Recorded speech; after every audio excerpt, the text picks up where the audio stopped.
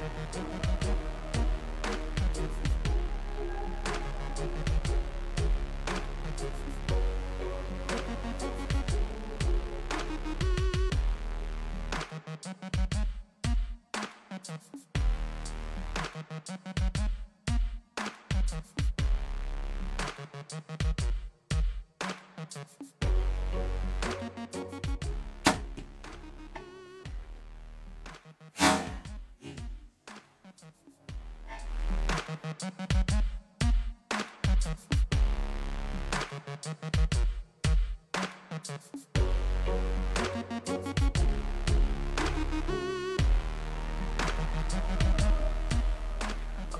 dead on the ground with the bow.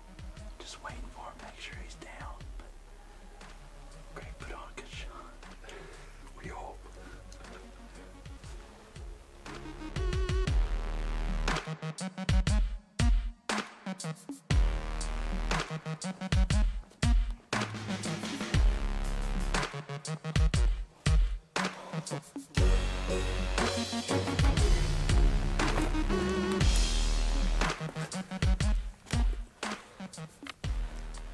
Your first exotic?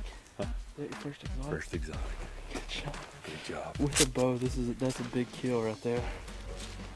First evening of the hunt. These guys just got in this afternoon. Bow hunting. The only one out of that. What, eight guy Eight group? guys, yeah. Eight guys. The only one bow hunting. First sitting. MPR. Mm, All that. First exotic, by the way, from Memphis, First Tennessee. exotic, yeah. Greg. Thanks, Mitch. Awesome. Look at this sucker. Roll him up. Watch your bow. Just gnarly, old. I mean, he's got. Look at the mass. Look at those bases. Yeah.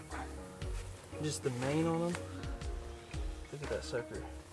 He's down, he was almost touching the ground. He come out. Well, we have two little fawns. Two fawns, and then and, and then the fawns got run off by the two smaller rams. Two little young rams Yeah. come in.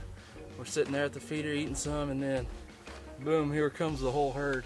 Just all of them rolled in at once. And this dude was in the back. And the big guy coming back. all dirty from rolling and scrape, whatever they do. I don't even know what it's called, but Yeah, yeah he's got his, he, he's got his horn heck of a hunt for bow hunt, first exotic in Texas.